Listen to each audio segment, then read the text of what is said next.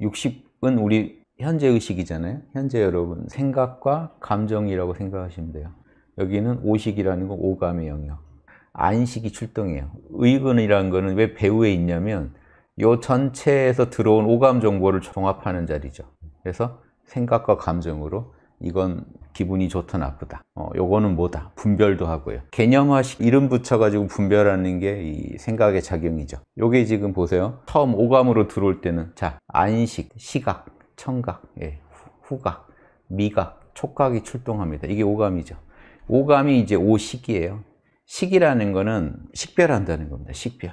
지금 색깔을 받아들이고 소리, 냄새, 맛, 촉감을 받아들인다는 게 아니라 식별이니까요. 그걸 이 정보를 딱 가공해 가지고 우리 뇌에서 가공해 가지고 컵이 이런 모습으로 있다는 걸요. 시각 정보, 후각 정보, 청각 정보 다 종합해서 뇌에서 재구성해서 뇌에서 홀로그램을 펼쳐 가지고 지금 내 눈앞에 이런 향과 맛이 나는 물을 담은 컵이 존재한다. 이게 파악이 되는 거죠. 이 부분에 대해서요. 서양 철학도 예전에는 바깥에 절대적으로 사물이 있다고 믿고 살다가 칸트 때 오면서 코페르니쿠스적 전환이라고 그러죠. 천동설이냐 지동설이냐 정도의 바라보는 관점이 바뀌는 전환이 일어납니다.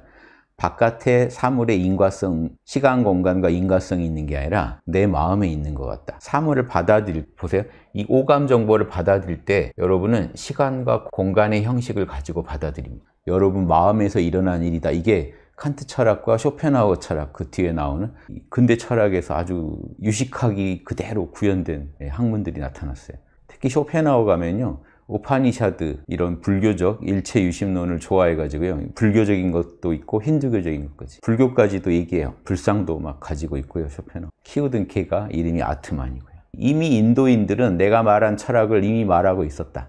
다만 내가 정밀하다. 이런 식으로 철학적으로 설명한 건 나다. 근데 칸트가 선구적 작업을 이뤘다. 왜냐하면 쇼펜하우어 가면은 모든 세계의 존재, 이 법이라고 하는 걸 쇼펜하우어는 뭐라고 부르냐면요. 표상. 내 마음에 존재하는, 여러분 마음에 존재하는 모든 존재들은 표상이에요. 여러분 마음에 나타난 것일 뿐이기 때문에 표상이라고. 이거를 인도에서는 법이라고 해요. 내 마음에 나타난 모든 특정 자성을 지닌 독특한 각자의 특성을 지닌 존재들. 그러니까 여러분 지금 눈 뜨고 보이는 모든 것, 들리는 모든 것, 뭐 냄새 맡아지는 것, 이 모든 것들은 여러분이 접하는 모든 것들은 불교적으로는 법, 다르마라고 하고요. 서양 철학에서는 표상이라고. 여러분 정신 현상에서 나타난 표상이에요.